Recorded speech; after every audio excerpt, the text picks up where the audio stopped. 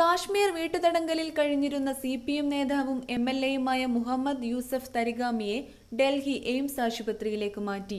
C P M general secretary Sitaram Yechury supreme കോടതിയിൽ നൽകിയ ഹർജിയുടെ മേലാണ് നടപടി. എഴുപത്തിരണ്ടുകാരനായ തരിഗാമിയുടെ ആരോഗ്യനില ഗുരുതരമെന്ന് യെച്ചൂരി ചൂണ്ടിക്കാട്ടിയിരുന്നു.